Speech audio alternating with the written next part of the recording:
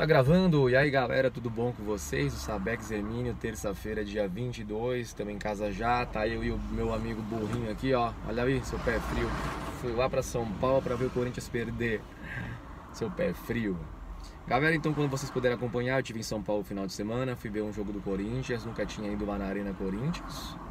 Eu sou corintiano desde molequinho, né, cara, aquelas influências da mídia de São Paulo e Rio tal. Cresci com o Corinthians, mas minha família por parte de pai pelo menos é, é colorada, mas eu nunca torci pro Internacional. E eu sempre gostei do Corinthians.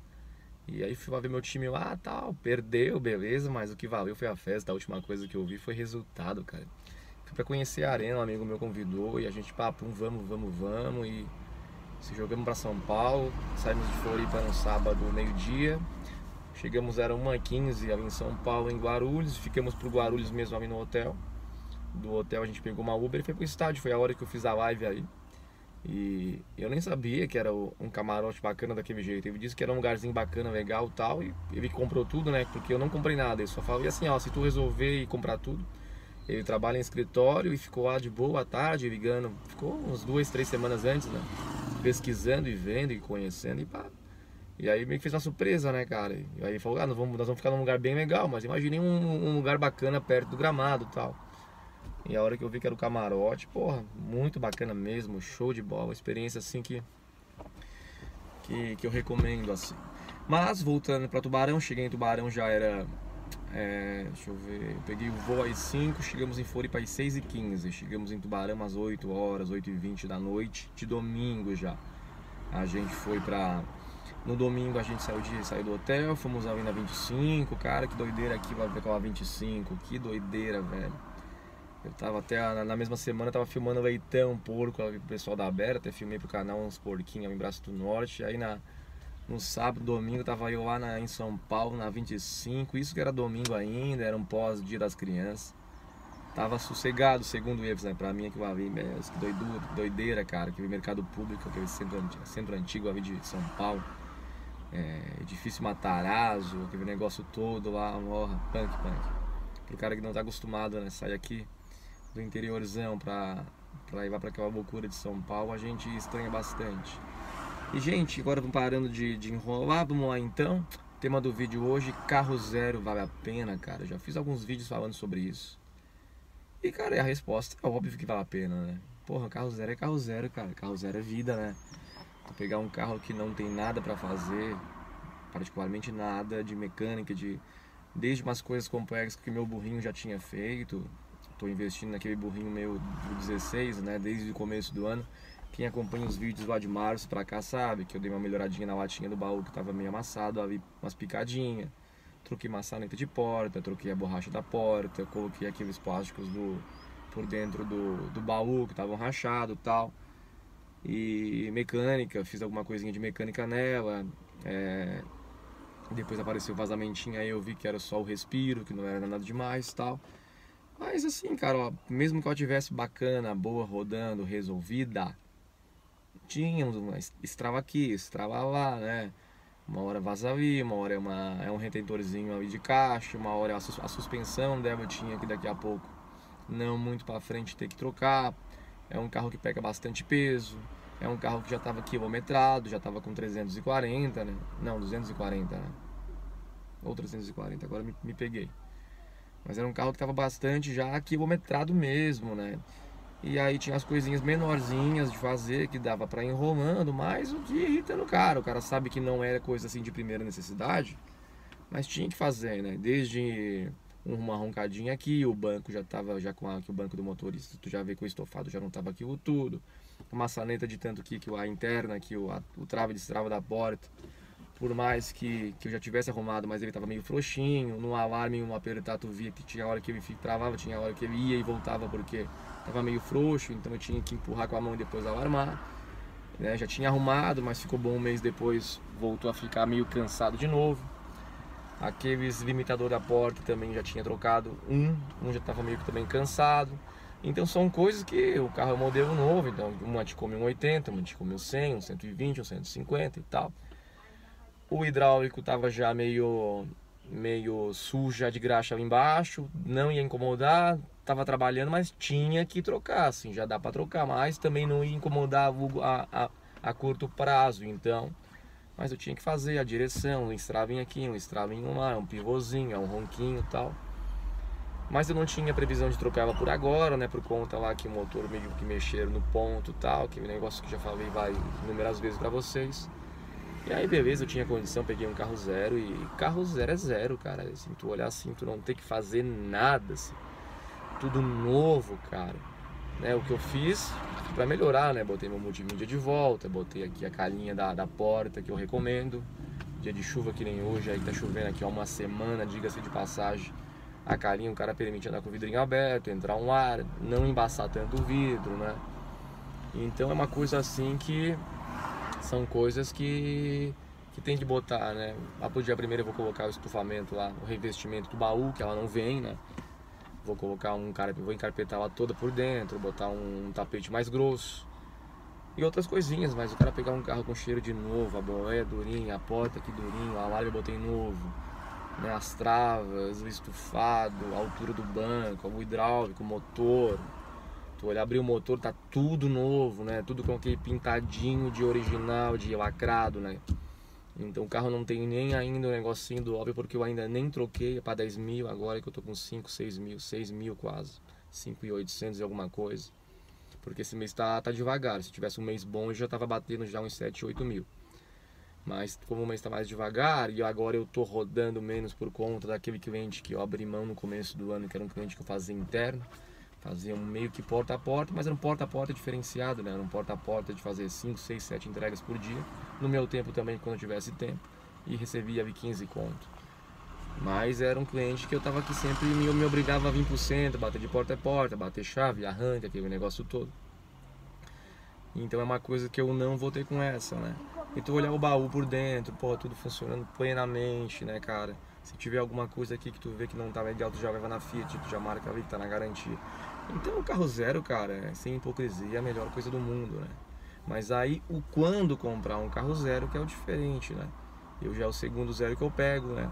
Tenho a minha clientela formada, tenho um nome na minha cidade, já sou conhecido. Trabalhei um ano aí praticamente com uma 2004, fiz, a, fiz minha carteira, fiz a fidelização, fiz a marca, né? fiz o nome. E a hora que eu me senti seguro para trocar o carro e pegar um zero, eu peguei. O primeiro carro eu não peguei à vista, eu dei uma entrada bem boa, fiz umas parcelas aí, com a graça de Deus eu paguei tranquilamente, em momento nenhum assim eu me estressei por conta do, do da parcela. É, e essa aqui, com a graça de Deus, eu dei o burrinho, completei e peguei à vista. Esse carro tá pago, quitado, é meu. E agora tô, agora é trabalhar, mas assim, a condição que a condição que eu venho que eu desenvolvi nesses últimos 15, 5 anos me deu a possibilidade de hoje estar com um carro desse, né? Tem um monte de parceiro aí, conhecidos, caras estão comprando carro. Os caras já começaram muito melhor do que eu, né? Já recebi aí WhatsApp, fotos de carro, o pessoal manda pra mim, manda no direct, ó. Comprei a minha 15, a 16, a bolinha. Muita galera comprando a bolinha já, começando na bolinha, né? E os caras felizes e, e, e com a graça de Deus aí trabalhando, né? Agora, se é errado, se é certo, cara, quem sou eu pra dizer, né? Eu, claro, se eu tinha condição de ter uma 2004 quando eu comecei, não gastei todo o dinheiro que tinha, né? Fiquei com um capital de giro também, foi o mercado, foi estudado. Foi um bom carro lá 2004, eu acho que assim, a opinião, né? Por mais que digam que carro não tem ano, tem dono, né? Mas eu acho que 2004 é o limite, né? A primeira figurinha daquela frentezinha maior, do farol maior. Então eu acho que a 2004, a 2005, eu acho que é o, é o limite mínimo para ponto de partida, né? Então, ali de 2004, 2005 até uma 2012, 2013, acho legal. 2008, 2010, 2009. São carros que a, a diferença de valor é pouca, é 2, 3 mil, mas o carro em si já muda muito, né? Já tem muito menos rodagem e tal. Então, 2010 ali eu acho assim o, o, a batida perfeita, né?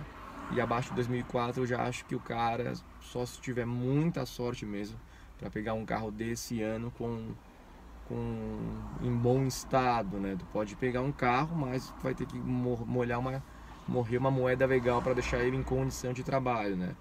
Pro meu trampo, pro meu trampo, carro assim muito velho já não serve, eu não aguento repuxo, né? Eu faço tiros longe, faço muita serra, carrego carga pesada, com empilhadeira, algumas eu bato na mão. Então, no meu trampo, eu tenho certeza que um carro abaixo disso já não ia aguentar 2004. Já querendo ou não me incomodava, uma coisinha ou outra, ela sempre tinha uma oficina para fazer. Então, eu acho que abaixo disso o cara vai se incomodar.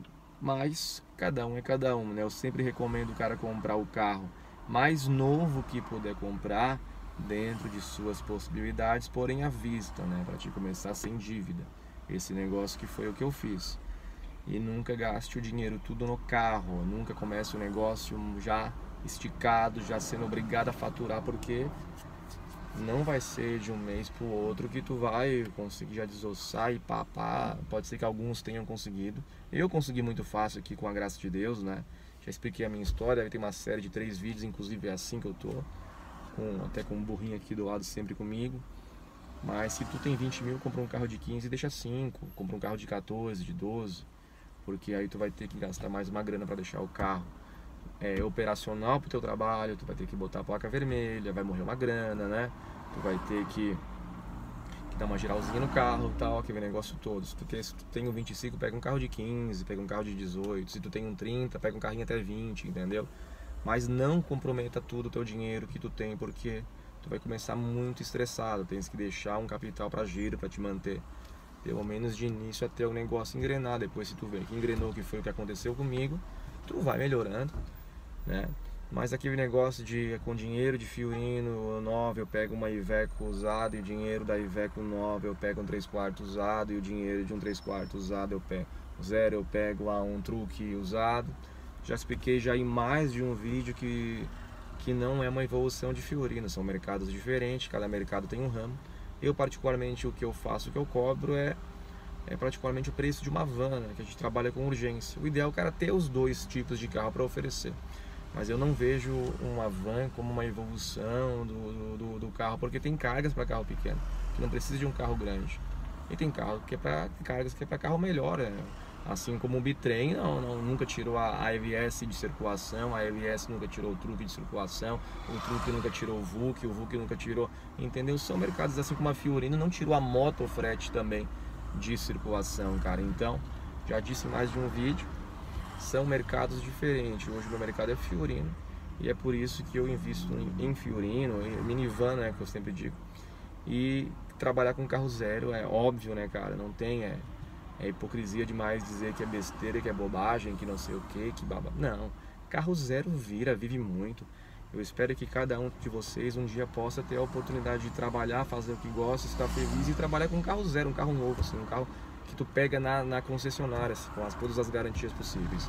Sei que é um, é um valor muito elevado aquele negócio tanto, mas aquele papo que o valor de uma Fiorino 95 cobre o frete de uma 2020, que a minha é o mesmo, então não adianta tu investir se o frete é o mesmo. Mas um carro zero ele vai te ele vai te tu, não, tu vai ganhar tempo, porque o carro não vai para a oficina então não é só o quanto tu ganha, é o quanto tu deixa de gastar e o quanto de tempo que tu perde numa oficina. Quanto mais o carro fica na oficina, mais parado tu fica, mais os clientes te chamam, mais tu vai estar tá inoperacional e mais eles vão chamar outro que vai muitas vezes daí nascer o teu concorrente. Todos os clientes que eu fiz frete, eu sempre peguei para mim assim. Todos que eu entrei porque alguém de algum modo vacilou, eu nunca mais larguei. Tenho certeza que se eu vacilar, eu vou perder porque vai vir outro com sangue no olho esperando só a chance de entrar e mostrar o serviço, entendeu? Então, um carro novo, a possibilidade de ele te deixar inoperacional é muito menor. É claro que se tu der uma batida num poste, numa árvore, capotar o carro, independente se é novo ou se é velho, é, o carro vai ficar parado, mas a chance de tu capotar o carro, ou tu te perder com um carro novo, até isso é menor, entendeu? E a chance de tu morrer também é menor, porque é mais seguro, porque tem ABS, porque tem airbag. Então eu só vejo vantagem em carro zero, mas isso tem que ser é, consciente e a condição tem que ser favorável para tu ter o carro zero, né? Não sejamos irresponsáveis, cara. Então o carro mais, quanto mais novo melhor. Então para mim é só vantagem ter o carro zero. É, novo é novo, não tem, não, não possam falar o que falar. Novo é novo. E até para conseguir fretes melhores, tu vai botar um carro novo lá na hora de justificar um frete, tu, o cara vai olhar o teu carro, vai ver a, a tua arte, o teu cartão. Tu vai ver, porra, não realmente, né? Pô, eu vou pagar tanto para esse carro, é mais, é mais, mas a, a chance de meu material chegar em condições de horário, em condições de, de que eu estabeleci é maior. Né? Se o cara tá com um carro novo é porque o cara é organizado, tá ganhando um dinheiro. Se o cara tá ganhando dinheiro é porque ele é bom, entendeu? Consequentemente, se eu vou comer um cachorro quente, eu prefiro ir naquele food truck mais bonitinho, que tem uma fila de espera que tu vai esperar até uma meia hora para comer um cachorro quente, do que aquele que tá meio zoado ali, que não tem ninguém. Pô, se não tem ninguém é porque tem alguma coisa, entendeu? E o dono da mercadoria, pô, tu vai chegar com um carro bacana, limpinho, novo, né? Um carro em ótimo estado, ele vai, opa, minha mercadoria vai chegar no meu cliente num carro bacana, padronizado, então vai também me dar moral com o meu cliente. Então, automaticamente, uma coisa leva a outra. Então, fica aí essa reflexão, tá? Carro zero vira, vira muito, é muito bom. Que Deus abençoe que cada um dia possa trabalhar com carro zero, mas seja responsável, né? Não te emocione, não te emociona, não bota os carros, a carroça na frente dos bois. Faz com na tua possibilidade, mas sempre tenta entrar, entrar no ramo com o melhor carro que tu puder ter, porém que tu possa pagar e sem dívida, que tu consiga comprar à vista. Mas se tu puder, meu amigo, carro zero vive muito e eu só recomendo, tá bom? Um abraço para vocês aí, uma ótima terça-feira, um ótimo resto de semana. Até o próximo vídeo, muito obrigado e tudo de bom.